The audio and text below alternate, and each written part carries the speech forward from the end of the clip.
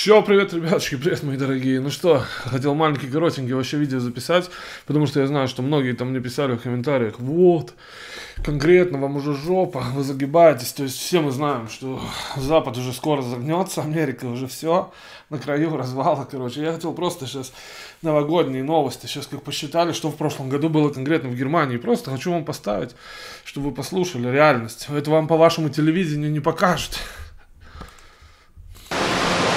Рекордный рост занятости установлен в Германии. По данным Федерального статистического агентства, в 2017 году число занятых на рынке труда увеличилось до самого высокого уровня с момента объединения Германии – до 44 миллионов 300 тысяч человек. Всего было создано 638 тысяч новых рабочих мест, на полтора процента больше, чем в предыдущем году. Наибольший рост отмечен в сфере услуг – на 1,7%. На фоне благоприятной экономической конъюнктуры в Германии уже 12 лет подряд сохраняется тенденция по снижению безработицы. Этот показатель по итогам прошлого года снизился до 3,7%.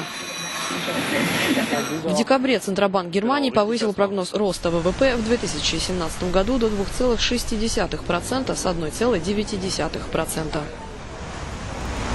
Ну вот, видите, вы говорите, что нет, там ничего, что загибается Европа.